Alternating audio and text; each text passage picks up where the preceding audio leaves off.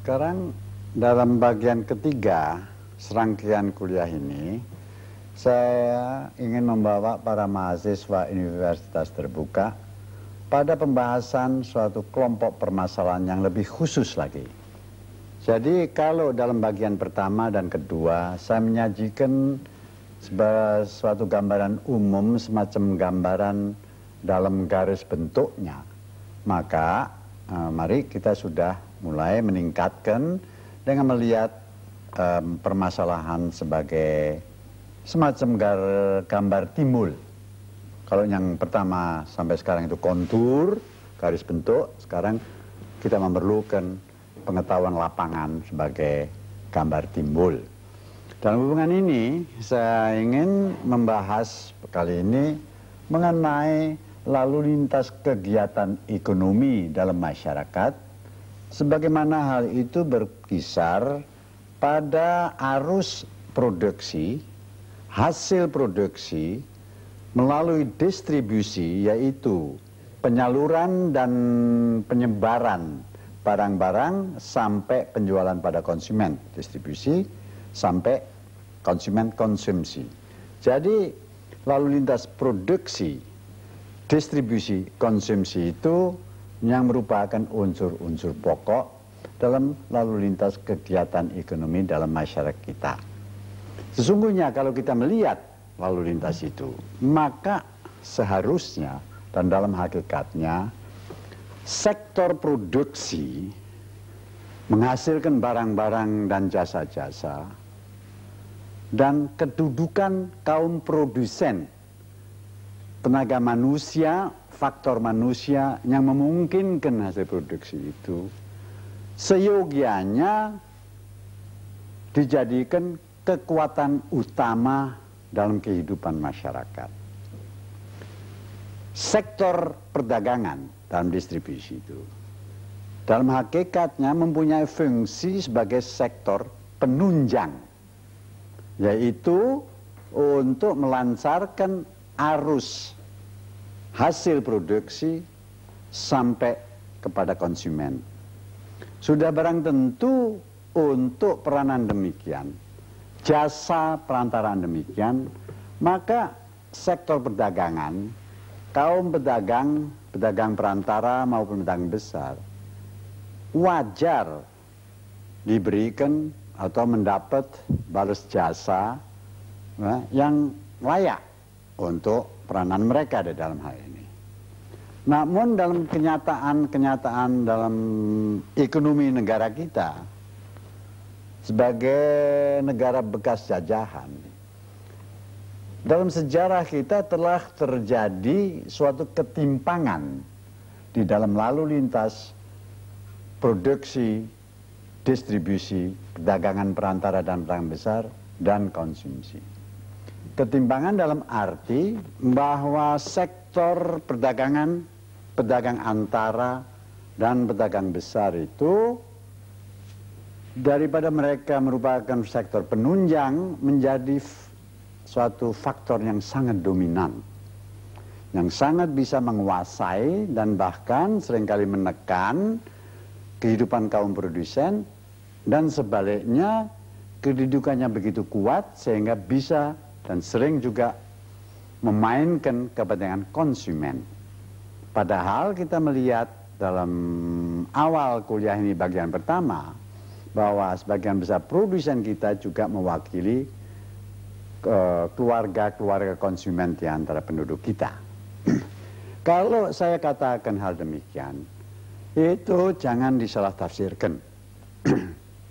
Semua ini tidak berarti bahwa golongan pedagang itu seakan-akan uh, terdiri dari oknum-oknum yang beretikat tidak baik atau kurang baik. Sekali-kali tidak. Di antara mereka itu banyak yang rajin, kerja keras, dan selalu mengembangkan diri dalam hal ini. Juga sebagai oknum-oknum, banyak di antara mereka bersikap dan berkelakuan baik di antara sesama warga. Tidak jarang di antara mereka merupakan manusia dermawan Kalau dalam keadaan musibah mereka peka dan juga bersedia untuk segera menolong. Jadi saya tidak di sini menyinggung baik buruknya watak belakang. Tapi lepas dari baik buruknya watak atau peran pedagang sebagai individu, sebagai oknum perorangan, masalahnya ialah bahwa ada ketimpangan di dalam perimbangan-perimbangan kekuatan ekonomi antara kaum produsen di satu pihak dan peranan yang dominan oleh pedagang-pedagang perantara dan pedagang besar di lain pihak. Hal ini terjadi sebagai akibat sejarah bangsa kita yang berabad-abad harus uh, hidup tertekan di bawah kekuasaan politik, militer, dan ekonomi dari negara-negara penjajah di masa yang lampau. Akibat sejarah itu yang harus kita tanggulangi sekarang. Sebab kalau kita melihat dan mengetahui sekitar kita, produksi yang langsung atau tidak langsung masih berkaitan dengan pertanian, baik pertanian pangan atau pertanian dagang, termasuk pengrajin, nelayan, uh, mereka yang bekerja dalam hasil hutan, itu sebagian besar uh, terdiri atas petani-petani produsen kecil. Misalnya saja, seluruh produksi karet Indonesia itu lebih dari setengah produksi itu berasal daripada kebun-kebun karet rakyat yang mempunyai satuan-satuan usaha yang kecil atau paling-paling dianggap menengah dalam hal ini. Apalagi mengenai kopi, lada, cengkeh, uh, coklat, kelapa, boleh dikatakan bahwa jumlahnya produsen petani itu banyak, tapi satuan-satuan usahanya kecil, sehingga kena kecilnya juga lemah keadaannya. Nah, dalam keadaan demikian mereka berhadapan dengan pedagang-pedagang perantara yang mempunyai hubungan erat dengan pedagang-pedagang besar di kota-kota yang mempunyai kedudukan yang sangat kuat yaitu yang berdasarkan pengalaman dan keterampilan mengenai hasil bumi, mengenai lapangan, pengetahuan tentang pasaran, menguasai pengangkutan, dan mempunyai dana dan modal yang cukup kuat baik yang mereka miliki atau menguasai sendiri ataupun karena mereka punya hubungan erat dengan dunia perbankan di dalam negeri dan di luar negeri. Nah, dalam keadaan demikian ini kaum-kaum produsen yang kecil ini bukan merupakan tandingan dengan kaum perdagangan di dalam posisi tawar-menawar. Lazim di Pulau Jawa misalnya, di dalam pertanian Petani-petani kita itu menghadapi suatu kendala, yaitu hambatan atau batasan, karena harus menghasilkan ngaram produksi dalam satuan-satuan tanah yang sudah terlalu sempit, lagi pula yang letak, letaknya sering kali uh, terpencar-pencar. Di luar Jawa, yang menjadi masalah ialah adalah pengumpulan dan pengangkutan. Yang biaya pengangkutan ke pusat-pusat perdagangan dari tempat-tempat petani itu kalau harus dipikul oleh masing-masing petani itu terlalu berat. Hal itu berlaku misalnya uh, kalau menyangkut uh, petani sayur mayur di Brastagi yang harus dikumpulkan kemudian disalurkan melalui Medan untuk dipasarkan di dalam negeri, di Aceh atau di Riau atau diekspor ke luar negeri ke Singapura dan Hong Kong. Sama halnya dengan eh, petani-petani di Lampung yang harus menyalurkan hasil bumi mereka melalui teluk betong ataupun eh, petani-petani uh, produsen uh, sayur mayur dan buah-buahan di Punten, Batu di Malang yang harus semuanya melalui Surabaya untuk dipasarkan ke tempat-tempat lain. Begitu pula pengrajin kulit misalnya di Magetan yang harus menyalurkan ini melalui Madiun dan selanjutnya ke Surabaya, Semarang dan sebagainya. Begitu pula di bagian timur. Perhatikan misalnya orang-orang yang pedagang kelapa, petani kelapa, ataupun cengkeh di daerah Sonder, di Minahasa, yang harus menyalurkan hal itu melalui uh, Bitung dan eh, tempat-tempat lainnya. Sama halnya dengan produsen-produsen kecil di Maluku. Nah, mereka itu mempunyai kedudukan yang sudah agak lemah, sering kali menghadapi pengeluaran-pengeluaran yang tiba-tiba harus dilaksanakan. Misalnya kalau ada kelahiran anak, perkawinan atau musibah dan keluarganya. Apalagi kalau hal-hal demikian terjadi pada suatu masa di mana mereka belum menerima pendapatannya. Yaitu yang konon dimakan masa paceklik. Untuk menjalin pengamalan mereka sering kali mengadakan pinjaman tidak jarang pinjaman itu mereka peroleh justru dari pedagang yang sudah merupakan uh, nasabah pembeli mereka hasil bumi. Sebagai jaminan atau agunan itu ditaruhkan tanaman yang masih di lahan atau buah yang masih dalam pohon-pohon. Jadi kalau tanaman itu masih hijau itu sudah terikat kena mendapat pinjaman. Inilah merupakan sumber daripada kata istilah yang kita kenal yaitu sistem ijon. Artinya tanaman yang masih hijau, buahnya masih hijau, itu sebenarnya sudah terikat karena produsennya sudah mengadakan pinjaman. Sudah barang tentu, pada saat mereka ingin menjual hasil panen atau hasil kebun, pada waktu itu kedudukan mereka dalam tawar-menawar sudah lemah. Sehingga dengan demikian sering kali harganya bisa ditentukan dengan berat sebelah oleh pedagang. Di samping itu, pedagang juga menjalankan suatu fungsi yang lain-lain yang harus dijalankan. Tadi saya sebut pengumpulan, pengangkutan, lantas disempatkan dari tempat pusat-pusat niaga, di mana harus diadakan pembersihan hasil bumi dari kotoran, pemilihan jenisnya, lantas ditaruhkan di dalam gudang, perawatan mutunya, kemudian harus dijual pada waktu harga yang tepat. Semua ini yang fungsi-fungsi yang dibutuhkan oleh masyarakat. Hanya oleh karena kedudukan begitu dominan daripada sektor perdagangan, Akibatnya ialah bahwa kedudukan produsen ini sangat tertekan. Terjadi apa yang saya tadi sebut ketimpangan di dalam perimbangan perimbangan kekuatan ekonomi antara golongan-golongan yang berkecimpung dalam produsen produksi yang sekaligus merupakan suatu konsumen dan sektor perdagangan.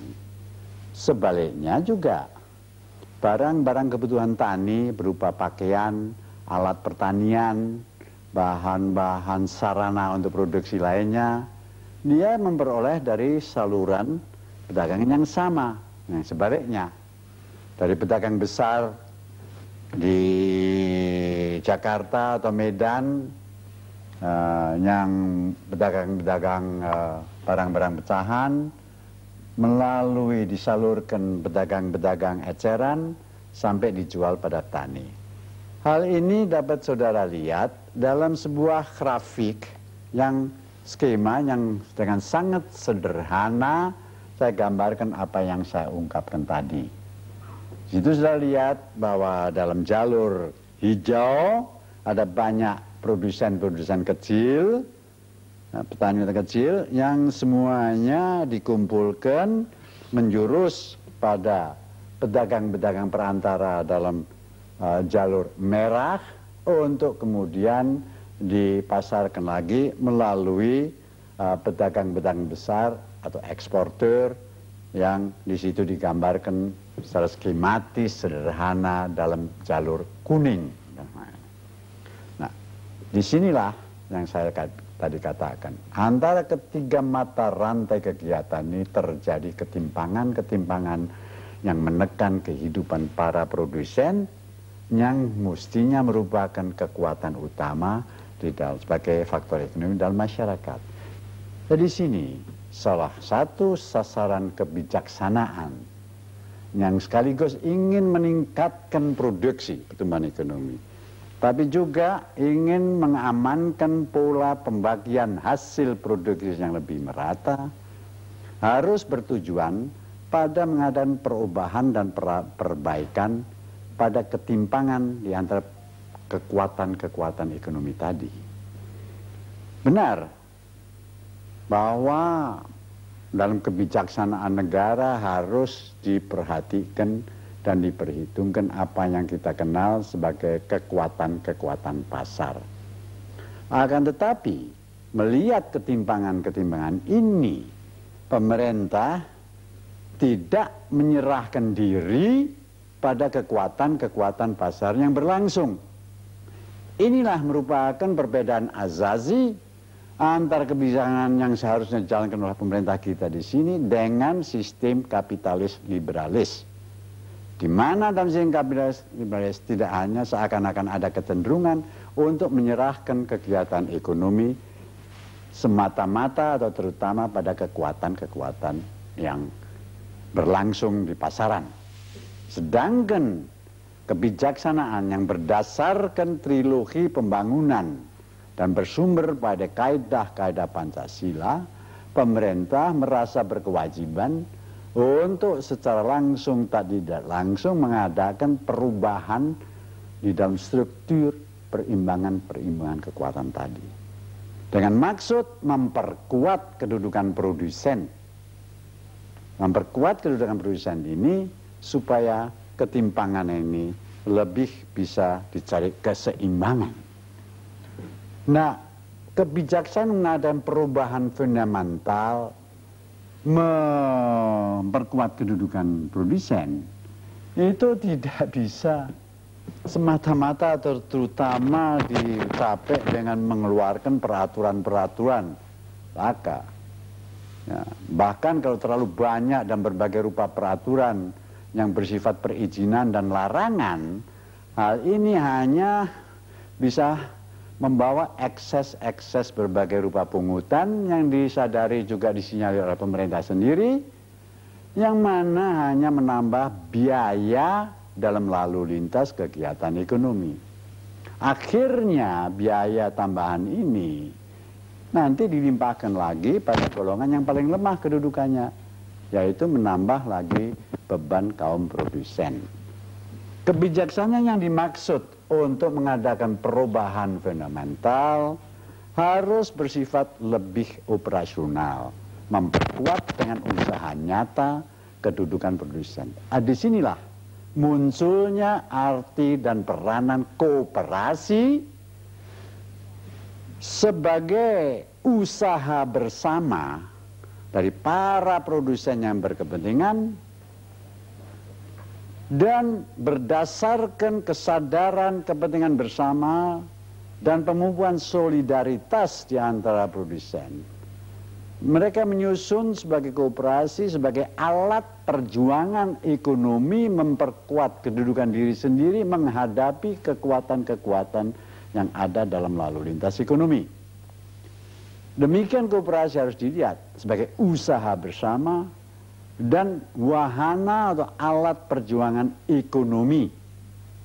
Memperkuat diri sendiri harus berkecimpung dan bertarung dalam lalu lintas kegiatan ekonomi.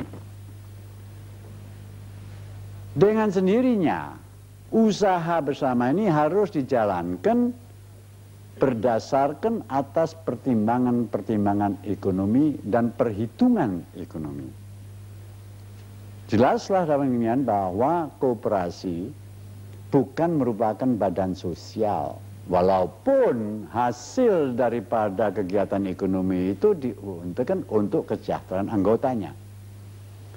Namun bagaimanapun juga kooperasi itu sebagai usaha bersama tentu yang harus diutamakan kooperasi pada tingkat primer yaitu desa-desa atau KUD yang harus misalnya dalam gambar tadi berkecimpung di dalam uh, jalur hijau tadi supaya bertarung dan kalau bisa menguasai kedudukannya dalam jalur merah tadi itu.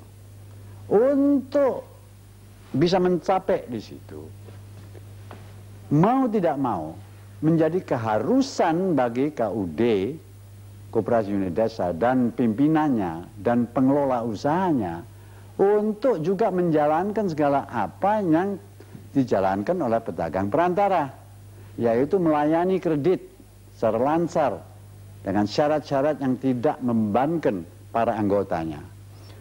Mengumpulkan hasil buminya pengangkutan pada pusat niaga penyimpanan dengan gudang pembersihan hasil bumi dari kotoran, pemilihan jenis, perawatan mutu dalam pergudangan, kemudian pengamatan dan pengetahuan tentang perkembangan harga pasar, pengelolaan, keuangan usaha, dan mencapai hasil yang sebaik-baiknya untuk para anggotanya dalam hal ini. Jadi jalan perkembangan kegiatan itu memerlukan waktu, keuletan organisasi, dan keterampilan usaha. Kita mengetahui dan menyadari bahwa dalam banyak hal memang di mana-mana ini gerakan kooperasi itu mengalami banyak hambatan dan rintangan. Sering dalam organisasinya sendiri Sebab yang diperlukan adalah di atas segala-galanya uh, semangat pengabdian dan dedikasi kejujuran daripada para pembina dan para pengurus kooperasi. Dilengkapi dengan pengembangan keterampilan dan keahlian mengadaan pengelolaan usaha. Sejauh hal ini menyangkut organisasi intern harus dijaga bahwa hak suara dan bobot suara pada masing-masing anggota itu sama di dalam penentuan kebijaksanaan umum. Ini merupakan lagi-lagi perbedaan azasi dengan apa yang berlaku dalam perseroan swasta, di mana hak suara dan bobot suara ditentukan oleh besar miliknya modal. Sedangkan di kooperasi lepas dari besar milik atau kecilnya milik modal, perorangan yang menentukan dalam hal ini. Orga, kooperasi dalam organisasinya dipimpin oleh pengurus, pengurus dipilih oleh para anggotanya, dan bertanggung jawab atau terhadap rapat anggota. Di dalam pengusahaannya, maka pengelolaannya dan zaman sekarang pengurus harus dibantu dan ditunjang, didukung oleh para uh, pengelola yang mempunyai ah, keahlian dan keterampilan dalam bidang-bidang kegiatan usaha. Yang lazim sekarang ini diberi julukan manajer profesional. Manajer profesional usahanya di bawah bimbingan dan pengawasan pengurus dan akhirnya para anggotanya. Sering terjadi bahwa di antara pengurus ataupun pengelola usaha ada yang terampil dan pinter, tapi juga terlalu banyak mengutamakan kepentingan sendiri daripada tanggung jawaban terhadap kooperasi. Ataupun kalau pimpinan dan pengelolaan usaha kooperasi kurang memadai dan kurang memperhatikan kegiatan-kegiatan usaha, pengumpulan dan sebagainya dan uh, penyimpanan gudang mendapat harga yang sebaik-baiknya. Seringkali mereka kurang terampil atau kurang memperhatikan. Bahkan kadang-kadang terjadi bahwa pimpinan KUD malahan menyerahkan usaha-usahanya itu di lapangan justru pada pedagang perantara yang dinamakan tengkulak. Dalam keadaan demikian, mereka hanya mengandalkan fasilitas dari pemerintah, langsung tidak langsung memaksa produsen untuk menyerahkan hasil buminya, kurang memperhatikan usahanya, sehingga beban usaha berdasar fee dengan tengkulak malahan bertambah untuk para anggotanya. Begitu pula kita lihat di beberapa provinsi dalam pusat KUD di tingkat-tingkat provinsi, sering kali mereka melupakan patokan utama, yaitu bahwa segala daya dan dana yang dimiliki atau yang didapat dari pemerintah harus diarahkan justru untuk memperkuat organisasi tingkat primer dan mengembangkan usahanya. Seringkali mereka sebagai badan hukum mempunyai usaha-usaha sendiri di tingkat provinsi yang sering kali tidak jelas hubungan fungsional ekonomis daripada usaha puskut sampai usaha-usaha yang dijalankan oleh kooperasi primer. Ini juga merupakan suatu kesenjangan yang perlu dibenahi. Saudara-saudara para mahasiswa dengan demikian kita tidak menutup mata atas hal-hal yang sesungguhnya tidak sesuai dengan apa yang dikenal kooperasi. Dan banyak kekecewaan yang harus dialami dan harus dilalui. Namun demikian di lain pihak kita juga sudah melihat banyak kemajuan, terutama di mana KUD tingkat primer ini sudah berhasil untuk memupuk dan memantapkan rasa solidaritas dalam pengembangan organisasi di mana terus-menerus diadakan penyuluhan intensif dan di mana diperlukan dan akan disediakan juga terus-menerus uh, pendidikan calon-calon uh, kader pimpinan kooperasi maupun pengelolaan usaha-usaha sebagaimana sekarang ini mulai dijalankan di dalam Institut Pendidikan Kooperasi dan banyak latihan-latihan yang dijalankan oleh kooperasi sendiri maupun oleh Jawa oleh Departemen Kooperasi.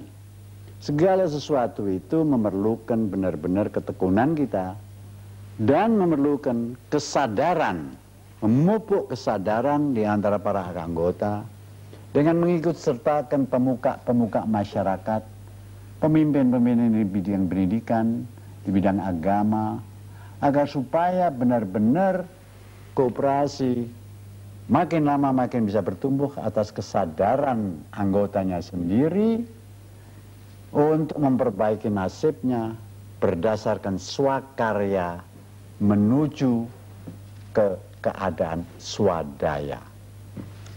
Terima kasih sampai nanti kita bertemu lagi di mana saya akan menyajikan bagian keempat dan terakhir dalam rangkaian kuliah saya.